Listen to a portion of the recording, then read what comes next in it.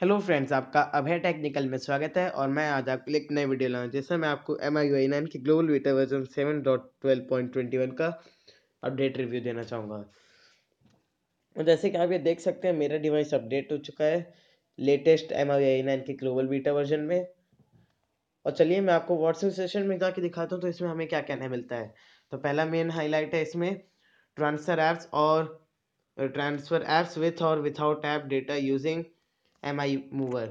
तो ये क्या है? अगर हम जाते हैं सेटिंग्स में और एडिशनल सेटिंग्स पे जाते हैं और यहाँ पर हमें नीचे एम आई मूवर मिल जाता है।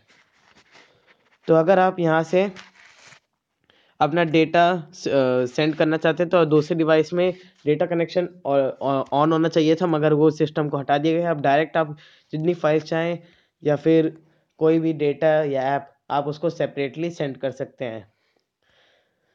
और दूसरे सेकंड फीचर की बात करें तो हमें यहाँ पर मिलता है add S M S keyword to exception तो ये क्या अगर हम सिक्योरिटी ऐप में जाएँगे और नीचे की तरफ़ स्वाइप करेंगे ब्लॉक लिस्ट में जाएँगे तो आप यहाँ पर देख सकते हैं कि यहाँ पर एक नया ऑप्शन मिलता है जो कि है S M S block list में कीवर्ड ब्लॉक लिस्ट अगर यहाँ पर कोई कोई स्पेसिफिक वर्ड आप यहाँ पर ऐड कर देते हैं, अगर कोई कॉन्टैक्ट से आपको मैसेज आता है तो आप डायरेक्टली इसको उसको ये ब्लॉक कर देगा उस कॉन्टैक्ट को। जैसे कि अगर आपने कुछ नंबर डाला है नंबर नहीं, अगर आपने इस पर कोई वर्ड डाला है, जैसे कि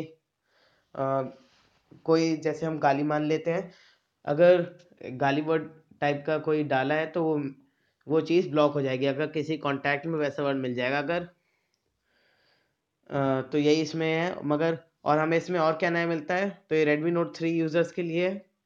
तो हमें यहाँ पर एक नया सिक्योरिटी पैच लेवल अपडेट देखने को मिल जाता है, जो कि है वन नवंबर ट्वेंटी सेवनटीन तो आप देख सकते हैं, यहाँ पर लिखा गया है twenty seventeen dash eleven dash one तो इसको चलो आखिरकार अपडेट कर दिया गया। ये क्योंकि चार पाँच अपडेट हो चुके थे और अब जाकर ये सिक्योरिटी लेवल अपडेट हुआ है। और हमें एक और दो नई चीज़ें और मिलती हैं, जैसे कि अगर आप अपने एम आई क्लाउड पर जाते हैं तो आपको वहाँ पर एक रीडिज़ाइन होम पेज मिलता है। तो अगर मैं अपने आप को एम आई अकाउंट पे जाके दिखाता हूँ तो आप यहाँ देख सकते हैं कि यहाँ पर इसको रीडिज़ाइन कर दिया गया है।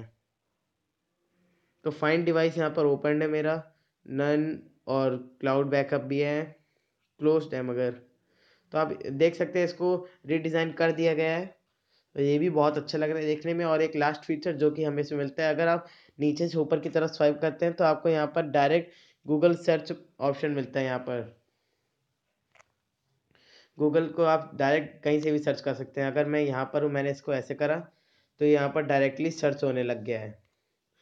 तो ये भी बहुत ही बढ़िया है। ये फीचर चाइना रोम में ही अवेलेबल था, मगर ये ग्लोबल बीटा रोम में भी आ गया है तो ये बहुत ही बढ़िया फीचर्स है। सो अब है टेक्निकल की वीडियो देख रहे हैं थैंक यू अगर आपको वीडियो पसंद आए तो इसको ज़रूर लाइक शेयर कमेंट कीजिएगा, और मेरे चैनल को सब्सक्राइब करना मत भूलिएगा। Thank you